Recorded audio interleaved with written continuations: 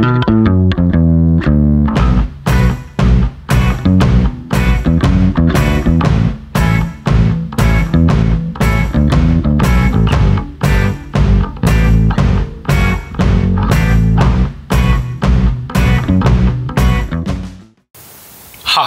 this is Christopher Brusa. Welcome back.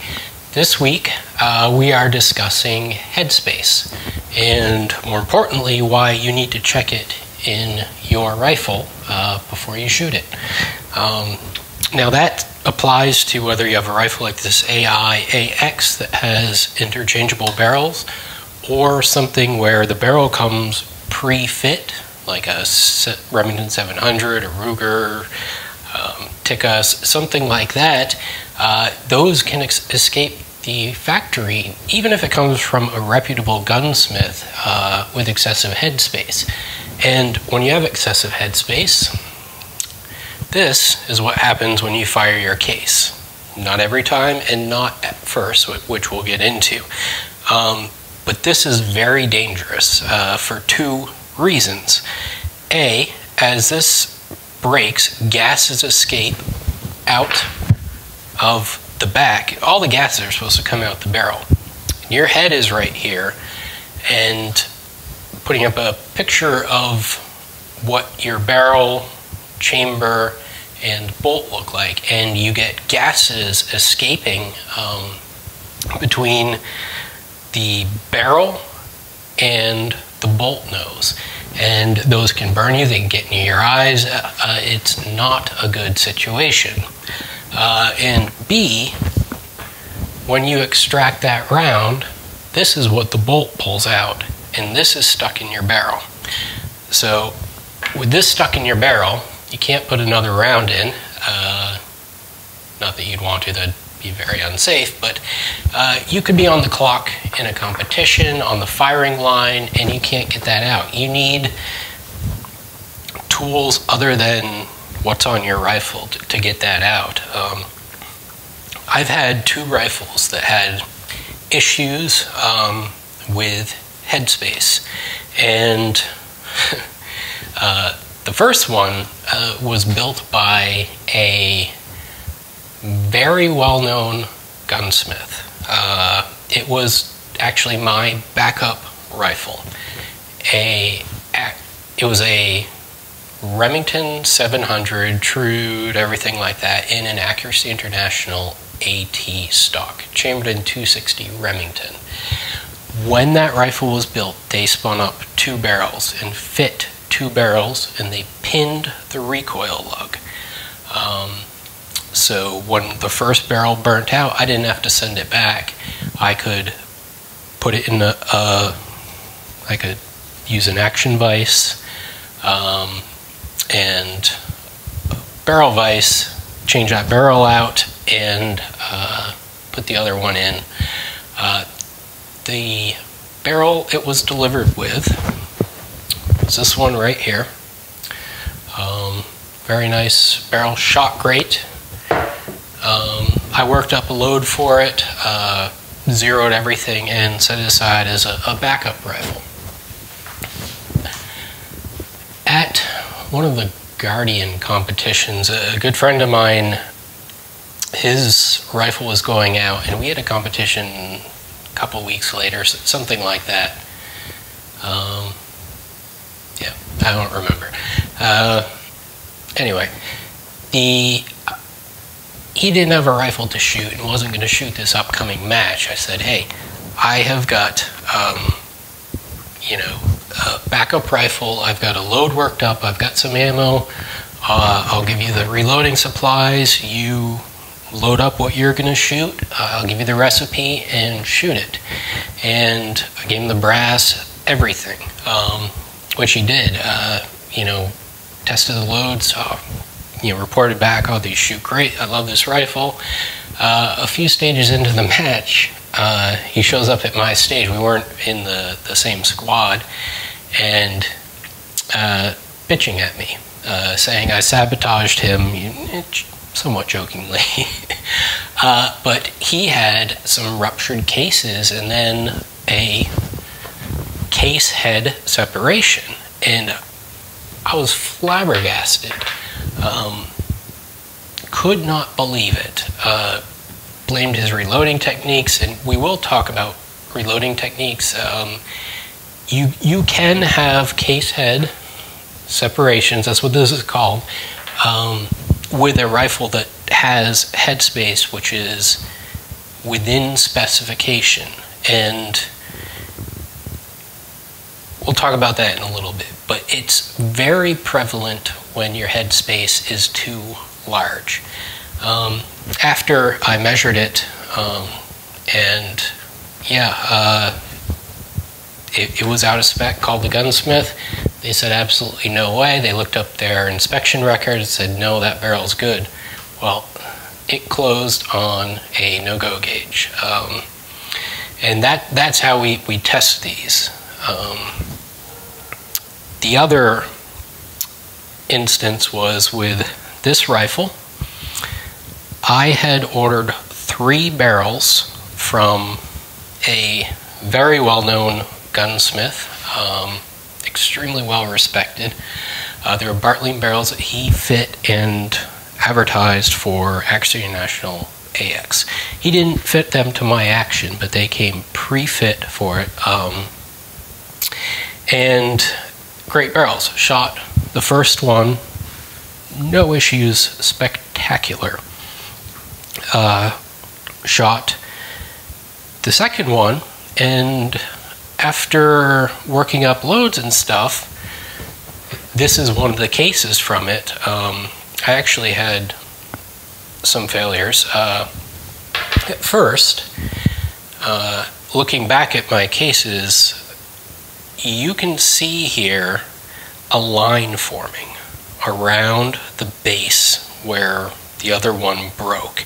And that's where this is necking down. Uh, it's kind of like a, a, looks a lot like a ductile tension fracture. Um, it is not, uh, but that's another video. I have a, I've never seen actual mechanical explanation of why these fail other than you know, the failure mode. I have a hypothesis I can't prove it. Um, I want to do an FEA to look at this, and but it's going to take quite a bit of work, and uh, a lot of it comes into reloading. I want to delve into it, but uh, we aren't going to discuss that today. So a, a, warning sign is you start to see these rings around the base of your your brass. Um, should have picked up on that. And then I had a case come out like this, where it's a partial case head separation. There's a small segment uh, which is still holding together. Did not notice it, uh, but you can clearly see where gas is escaping, and this case has fractured. And then the next one didn't come out. Uh, I'm guessing possibly the barrel was heating up my head. Your headspace will increase slightly uh, as your barrel heats up. It's an issue with like um, M60 machine guns, uh, BAR machine guns. Um, it, it is an issue, but with a bolt action, it's probably negligible. Anyway, uh, saw that.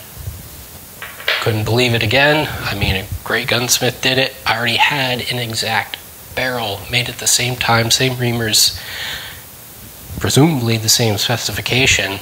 Uh, again, put the gauge in, bad. Um, so I, I, salvaged that barrel um, and turned uh, the, if you look on the diagram, the shoulder of the barrel, turned that down slightly. Uh, I think we took three thousandths of an inch off in barrel shock rate. So uh, no issue, but I should have measured it when I put the barrel on. So the way this is measured is with go, no-go gauges. And these are go, no-go gauges for measuring headspace and headspace only.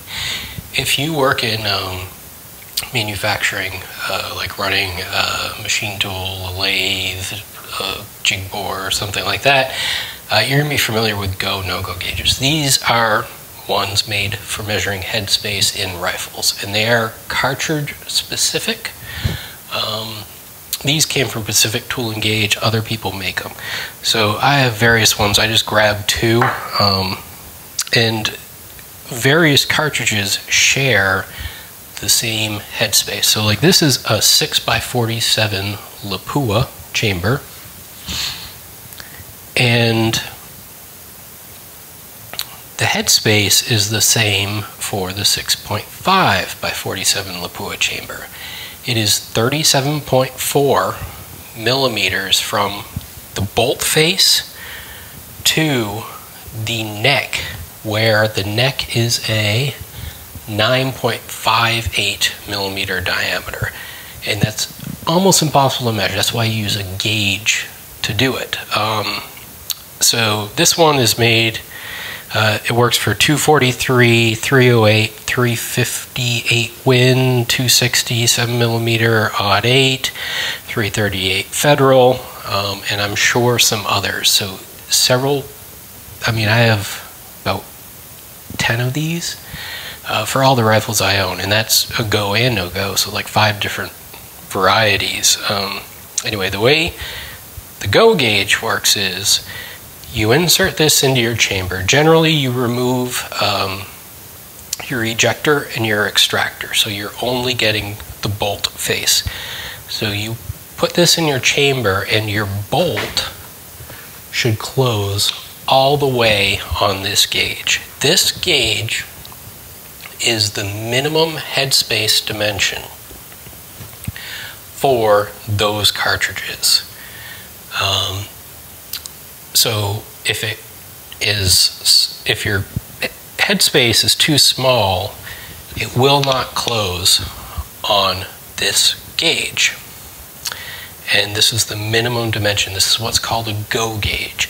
Generally, a custom gunsmith is going to fit your chamber to be very close to this, um, which we'll discuss when we talk about reloading. Um, so, go gauge. This is a no-go gauge. This is slightly bigger than the maximum headspace dimension. And for 6x47 Lapua, the difference between minimum and maximum is uh, 200 microns, uh,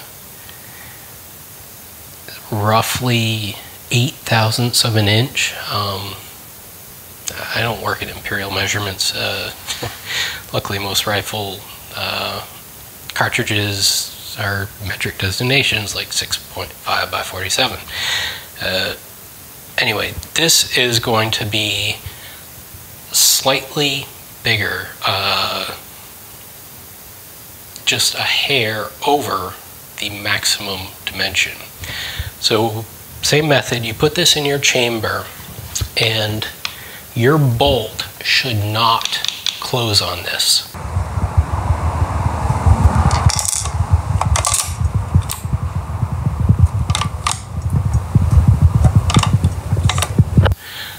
It should not close all the way. Generally, you want it to just start going down. Um, the closer you get to, to full lockup, the closer you are to this. But uh, if your bolt closes on this, your headspace is too large. And that is the issue I'm talking about in this video. Um, so you can see in the image, there's interference between the bolt face and the back of the gauge. So if the bolt were to close on it and you put in a cartridge which is sized uh, generally sizing dies like if you run them down like the instructions tell you uh, it's going to go to the minimum headspace minus a bit um, that's why we generally modify that when using proper loading techniques. But in the image, you can see there's a, a space there. And it's a rather large space. In this instance, it, it would be greater than 200 microns. So when you fire your cartridge, the brass expands to the chamber dimensions. Brass is very ductile. It has a generally low yield strength.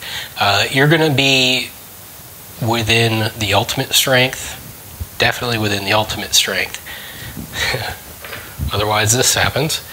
Um, but the brass is going to expand to the chamber. Uh, it's going to shrink back down once that pressure decreases. And I think uh, like 6.5 by 47 is maximum pressure um, is like 78,000 psi, so something in there. And I, pr I probably exceed that, not recommended, but most people who are shooting competition probably exceed that if you're trying to get maximum velocity. So you're seeing high pressures and the brass will expand and it's going to shrink back down once that pressure drops, but it's not going to shrink down to uh, the original dimension that it was before you fired that case. Um, and that is where we get into problems with, with headspace. So when you reload that cartridge, uh, which has now stretched out, and even with proper headspace, it it stretches out and it's a larger dimension. But when your your headspace is excessive, um, the case gets quite a bit longer. And the way reloading dies work is they only size the outside of the case body and they'll they'll have a mandrel that goes in the neck but i'm not talking about the neck here. We're talking about the case body and there is no die that goes in inside of there um, you couldn't uh, due, due to the shape of it, it it'd be very difficult to get something to do that. So the outside is just smushed down and this shoulder is pushed back, meaning it's pushed closer to the bolt face, I guess, um, or the base of the cartridge. Um, and you are displacing the metal. When you run that die over it, that metal needs to go somewhere. You're making the diameter smaller, so it's got to go somewhere, and generally, most of it uh, very intricate topic, but the majority of it is going to go and push up and actually make the overall length of the cartridge longer. That is why you need to trim your brass. And some cartridges uh, that don't have a lot of taper on the, the body, uh, you don't need to trim that very much uh, or very often. Uh, if you have something that has a lot of taper on it, like a, a 270 Winchester, every firing, every couple of firings, you're cutting a significant amount off. Um, and that's brass that you have displaced from the case body, the shoulder, and the neck um, up into the only place it can go, eh, the majority of it into making the case longer. Uh, so when you do that, the case body, case shoulder, and case neck are getting thinner. You are removing mass, you're removing material from the cartridge case.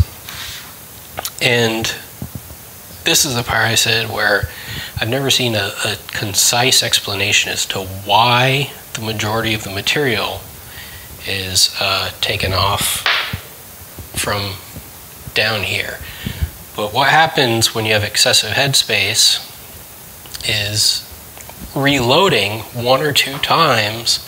Uh, this you, you get a very thin section down here near where the, the case head forms into the case body. Now this one it's seven millimeters. Um, the, these examples are roughly uh, seven millimeters from the bolt face uh, and it's the transition where the case head, this piece, is meeting the case body. Uh, that cross-sectional area there gets thin, and that's why it breaks. Uh, it can no longer withstand the forces. Now, when you reload, even if your headspace is within specification, uh, you want that cartridge to go in easily and your bolt close easily. Uh, now, neck sizing generally isn't done in, in rifle competitions because you don't want to have to really crank on that bolt and compress the body to, to get it to close. So generally we full size. You, you still see it with neck sizing, uh, not as much. But generally we full size. Uh, we size the entire uh, neck, shoulder, and body. And when you do that, you're bumping, you're taking this shoulder and actually bumping it down closer. Um, so when your headspace is excessive, you're moving that shoulder quite a bit. Um, I guess what I'm getting at is one or two reloadings with excessive headspace is probably equivalent to like 15 or 20 uh, reloadings with normal headspace. Generally, if, if you have a good headspace, you aren't going to see case head separations uh, with a piece of brass. Your primer pockets are going to wear out and you're going to have to get new brass due to the primer pockets before you see that. I'm not, I'm sure it happens, but I'm not aware of anybody I personally know or myself uh, where you had a case head separation without excessive headspace. Um, it can happen. I've read about it, and theoretically, it's the same thing. But excessive headspace accelerates this process of decreasing the cross sectional area of the brass where the head meets the body. Um, and that's why you generally see it with excessive headspace. So it's a boring topic. If you've lasted this long, thank you. Uh, I felt it was important to discuss. Um, even if you buy a factory rifle, you should check it when you get the rifle. Um, it, it can um, was talking to one of the Kelbly brothers uh, at a match about that 260, and uh, it can change during the life of a rifle, but it's not going to change much. Um, and it's important, so I wanted to mention it. Um, please like, share, subscribe. Um, I'll see you next week. Thanks for watching.